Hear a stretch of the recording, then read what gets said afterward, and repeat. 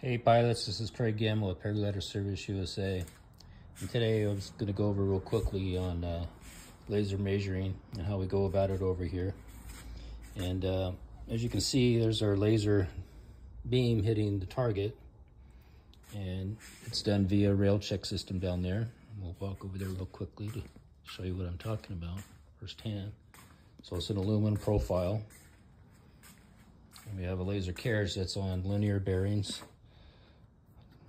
it's wrapped completely by linear bearings, so it's very smooth. And not only that, does it glide easy and is it really smooth, but it's true. Whether I have it at this end of the rail check, nine mi over nine millimeters away from the target down there, or all the way up here, you know, um, which is about four meters away, um, that laser beam is hitting the exact same spot.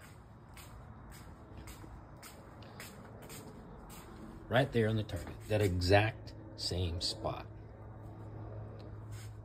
And uh, there was a day five, six years ago that I used to handhold my laser device. I didn't have the rail.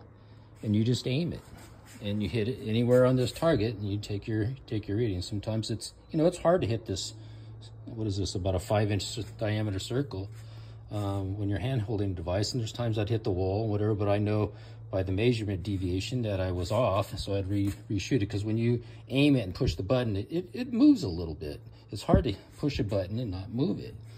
And uh, so you'd get a reading, a, a laser beam here, then here, then over here, but you take those readings, but they're not hitting the exact same spot. So you're, what's the word I want to say, uh, your comparative analysis between the line lengths or even from lasering the same line after you've done malleting loops, you know, the same line again or even just it again, it's not a it's not as accurate. Because you know if I hit here versus here, take the same line measurement, and let's say it's not a line that can stretch, let's say it's a cable, and I hit a beam here and I hit a beam there, it, it there's going to be a, a difference in the measurement.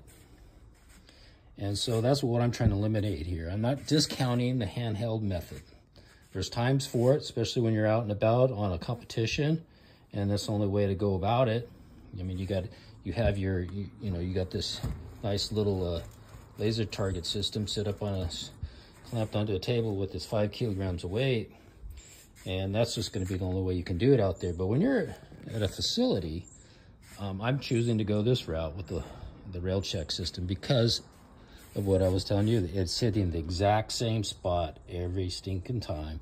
And that way, when I compare, all my measurements are done the same way. So it, to me, it's a more accurate comparative analysis of the lines, lengths, and, and then between the cells. Because I not only am I measuring the line lengths, but I'm also comparing the line lengths to each other. So A to B, B to C, and, and A to C, uh, you know, so A1 to B1, and B1 to C1, and, and C1 to A1.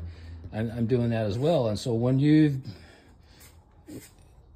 are hitting the exact same spot, to me, that's just a more accurate way of doing your comparative analysis between everything. And that way, um, things, will, I think, are just a little more perfect. And that's what we like to do things here. We just try to make them as perfect when we get them. I mean, it's not an exact science, but it, they're all, there are a lot of different ways that you can uh, fudge things, or not fudge things, but what's the word I want to say, uh, mess things up. You know, just even the laser device you choose. I mean, um, if I chose the like like like uh, uh, D1, it's going to have an accuracy of plus or minus two millimeters. Um, then you got the like the D, Disto D2. Again, it's uh, I think plus or minus one and a half millimeters. With this one here, it's a little more expensive. It's like twelve hundred bucks, but it's plus or minus one millimeter. And so, I mean, the price jump from the the the I can't even say the, the brand name L E I C A uh, D1, which is like, I think it was like 120 bucks versus this one, which is 1200 uh, almost, you know, way over a thousand dollars difference where the D2 is like $230. And so, you know, you jump to this, which is a $1,000 more to get that half a millimeter better in accuracy. And that's what we chose to do. And so, um, you know, if I went with the D1, it'd be 120 bucks and I would have had, I'd save a whole one millimeter of accuracy, but if I had the D2, then I'd save a half a millimeter. And that's what just what we chose to do. You know, I'm not trying to bash anybody else there and what they're doing in, in their realm. I'm just saying here, I try to do things as best as I can with the means I have. And it's fortunate that I have a pension to live off with the fire service, so I'm not living off my income from for servicing paragliders. This is something I enjoy to do, and I do it because it's my passion. And um, I'm not here to make money. I'm here to provide a service to the community. And so I just, uh, you know, wanted to share that with you all.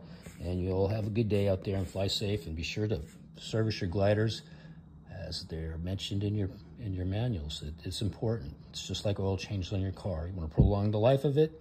That's what you got to do.